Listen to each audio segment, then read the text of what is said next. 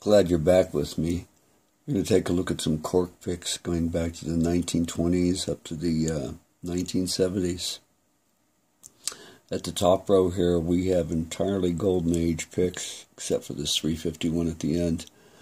Uh, from here over, these are all pre 1950, with the oldest being this these here, and this uh, 351 with a cork, and this 351 with a cork. Now look at the shoulders and you'll see they're, they're asymmetrical, which tells me they were hand stamped. And this particular celluloid here, I know to be specific to, to the, D'Andrea company. Uh, it's a very distinct celluloid. See it better on the back there. As well as this one, and you can certainly see the, the shade differences in this one here's one in Army Brown. This is a gorgeous celluloid here, but it's the only pick I've ever found with that celluloid. It's a 349 shape with a cork added.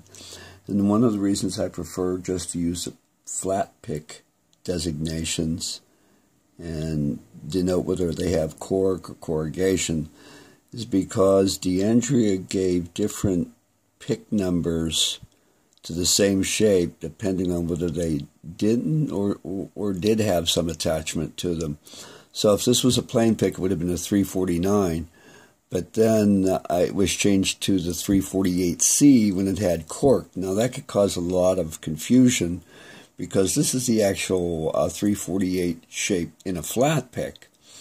But when it has a cork added, it's a 349C. So that should sound confusing because it is. So I'm just going to be using uh, the flat pick designations and note whether D'Andrea obviously added cork or some other feature that would change its designation.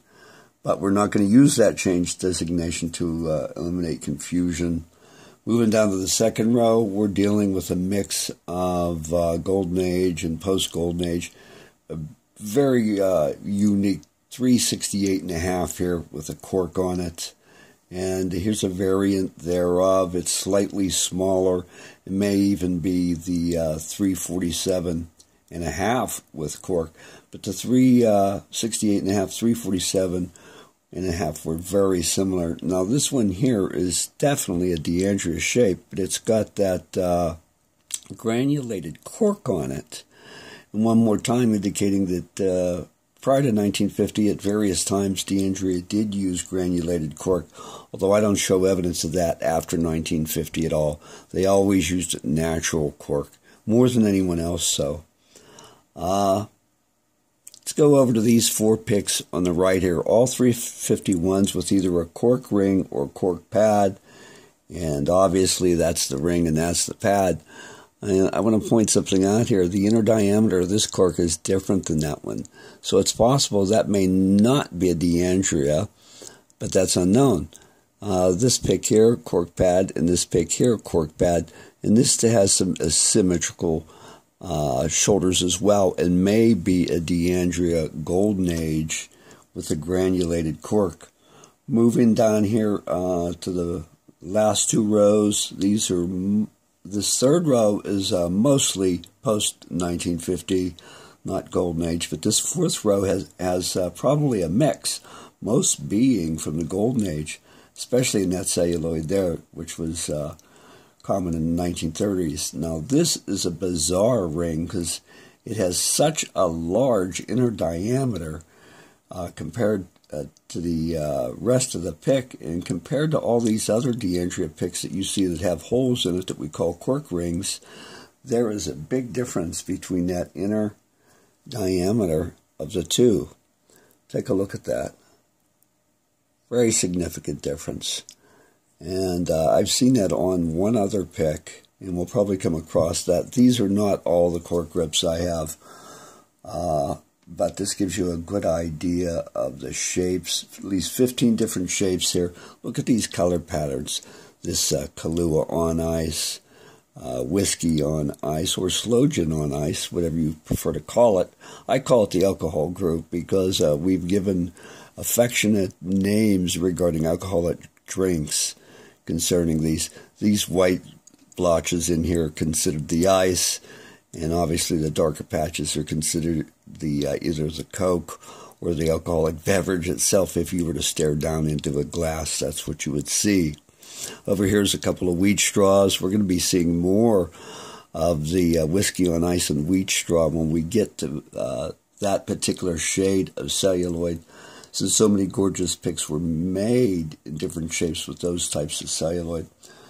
But uh, moving back down to the fourth row here, some of these may, uh, in fact, some are not D'Andrea. But uh, with this 337C here, this uh, is related to some other picks, and that's still up in question.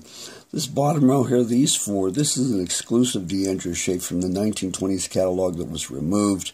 Here we see it on four different shades of celluloid, but all in a type of granulated uh, cork that D'Andrea, I see no evidence of having used. So this could have been copied by the Midwest Chicago manufacturer, this particular shape. Uh, again, that's unknown though. There's a lot of unknown in vintage picks, but you know there's a lot that is known too. Now these three over here are very interesting because they have what seems to be cork on it, but it's not. It's just printed on there.